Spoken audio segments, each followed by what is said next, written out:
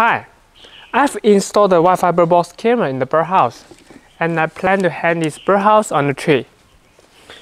The advantage of use Wi-Fi birdbox camera is I don't need to pull the cable from the birdhouse to connect to the router inside of the house. I can just connect the camera to the Wi-Fi network. The Wi-Fi camera highly depends on the Wi-Fi coverage. So if the Wi-Fi signal is not good around the birdhouse setup spot, the camera cannot deliver good video.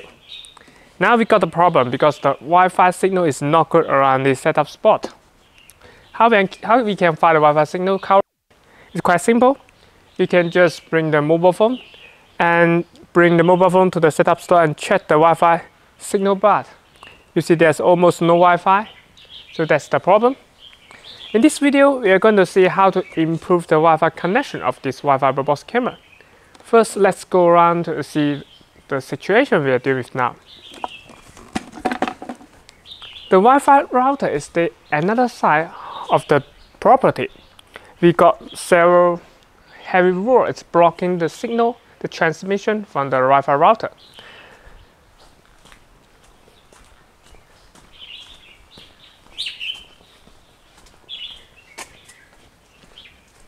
You see, this is the heavy wall. wall. We have not only one wall, we have multiple wall. The Wi-Fi router stay inside, so the router need to pass through the different wall before it reach to the birdhouse setup spot. That's the issue we are facing now. Okay, now let's see how we can make the Wi-Fi connection better. Let's just go back to the setup spot. This is the second generation waterproof birdbox camera. It's not only waterproof, but also equipped with the standard SMA antenna. So which means we can replace this small antenna with large antenna. The connection is the standard SMA connection. Unlike the first generation, just use the very small antenna, now we can use the standard large antenna. I'm going to remove this small one. Here I got the large antenna. This is the base. We're supposed to attach the antenna to the base, but first let me install the base to the birdhouse. I need the screw pad.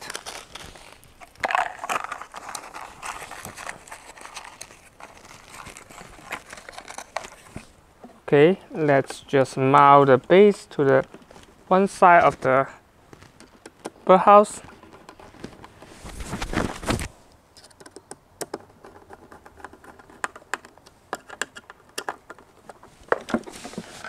And connect the extension cable to the standard SN, SNA connector.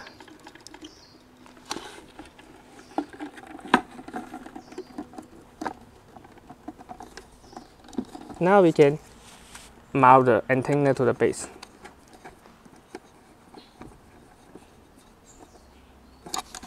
So this is going to improve the Wi-Fi connection.